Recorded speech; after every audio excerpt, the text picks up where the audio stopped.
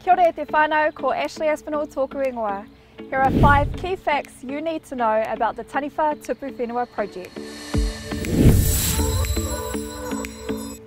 We're here to tautoko each of our te whakakitenga marae develop the best plan for their whenua.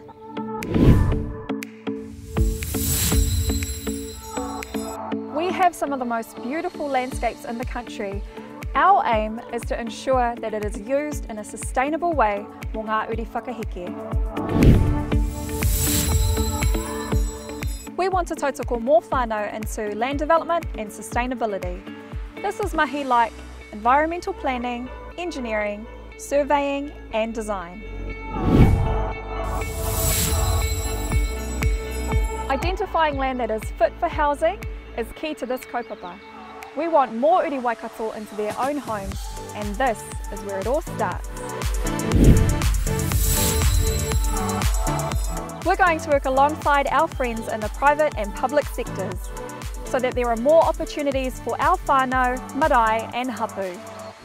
Those are five key facts about our Taniwha Tupu Whenua project. Kia ora.